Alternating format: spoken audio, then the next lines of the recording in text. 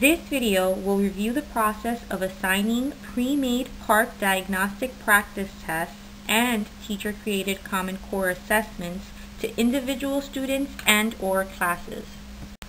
To assign an assessment, begin by first selecting the Assessments tab and then choosing the Standards and Subject grade level from the drop-down menus. Hover over the Options button to the right of the assessment title. Click the Assign link. If you are assigning to classes, select New Class Assignment. If you are assigning to individual students, select New Student Assignment. Choose the following test assignment parameters. Select the testing window. Enter a start date and an end date in the fields provided. Next, set the available time. Choose for the assessment to be available to students 24-7 during the testing window or limit student access during the testing window to school hours.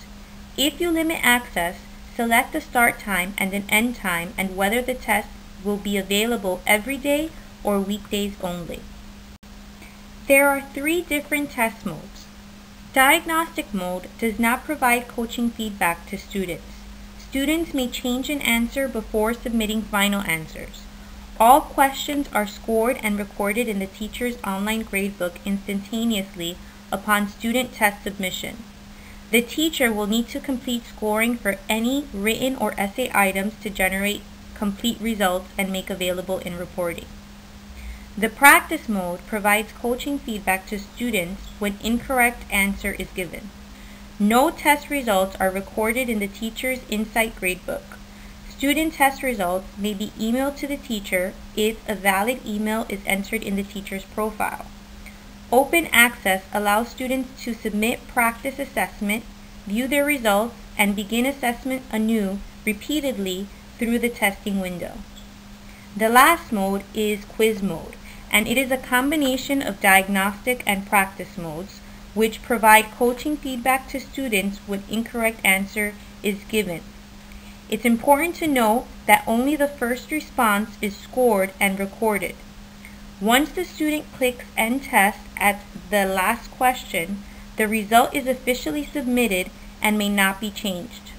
All multiple choice responses are scored and recorded in the teacher's online gradebook instantaneously upon student test submission. The teacher will need to complete scoring for any written or essay items to generate a complete list of the results and make available in reporting. You may also select the question order. If applicable, order questions the same for all students by selecting Standard Test Defined Sort Order. To randomize order for each student, select Randomly Generated Sort Order.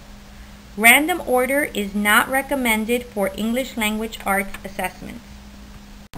The teacher has the option to suppress answers to the student on their personal prescriptive path. By selecting No, the students will see the answers to the assessment upon completion in his or her student P3.